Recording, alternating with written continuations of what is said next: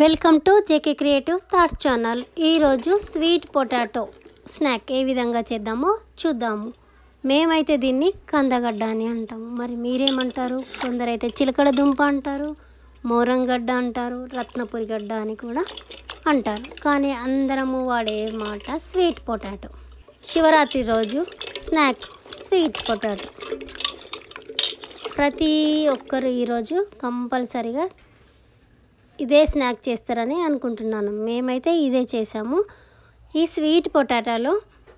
పిండి పదార్థాలు ఎక్కువగా ఉంటాయి ఇవి శక్తినిస్తాయి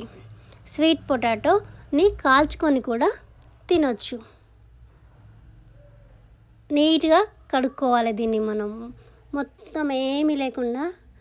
నీట్గా కడిగాను ఇలా కడిగితే ఇక మనం డైరెక్ట్ ఉడకబెట్టిన తర్వాత అలానే తినేయచ్చు పొట్టు అట్లాంటిది ఏమి తీయనవసరం లేదు ఒక గ్లాసు వాటర్ వేసి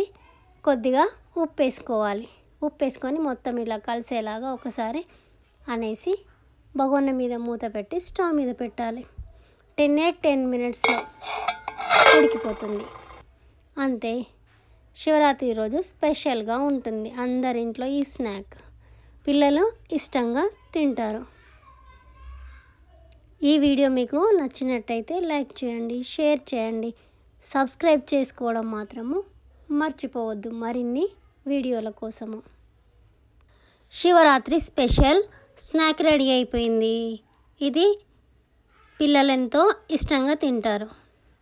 ఈజీగా చేసుకోవచ్చు దీనిని వాటర్ వేయకుండా ఆవిరి మీద కూడా ఉడికించుకొని తినొచ్చు అలా కూడా టేస్టీగా ఉంటుంది ఏ విధంగా అయినా దీనిని ఉడికించుకో